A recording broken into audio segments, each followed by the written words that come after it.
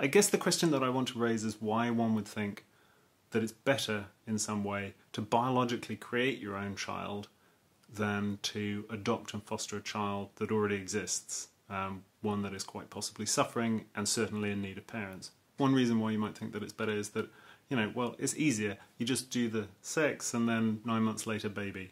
Um, well, obviously, it's a lot more complicated than that, and it's incredibly arduous for the mother. Um, and then once the child is born, there are various trials and tribulations that the um, biological parents then have to face. But there are no legal checks and balances. Okay, there are no legal obstacles to biologically creating your own child. So in that sense, it's easier.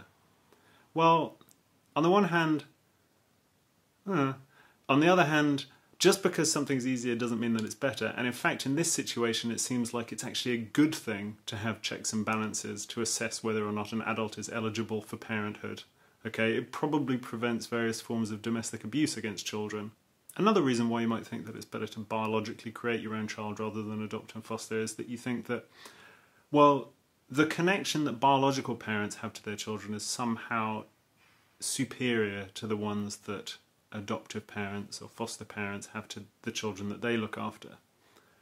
I think that's horseshit, and I think it's also politically problematic um, on a number of levels to denigrate the relationship that non biological parents have to their children. Um, I don't think adoptive or foster parents um, love their children any less than biological parents. Um, there doesn't seem to me to be any evidence of that.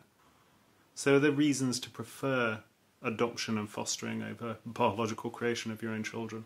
Well, okay, let's leave to one side all of the problems that you get with um, overpopulation. Okay. It still seems like the act of biological creation of a child is kind of selfish, right? Um, where adoption and fostering isn't. You're bringing an entity into existence for some reason that has absolutely nothing to do with that entity because it doesn't exist yet. Okay, you're not treating it as Kant would say as an end in itself. You're treating it as a means to an end, um, the furthering of your line or something like that. It just seems like it's a bit selfish. I don't know, but I just kind of I think it's worthwhile raising questions about why one would want to biologically create your own child rather than adopt or foster.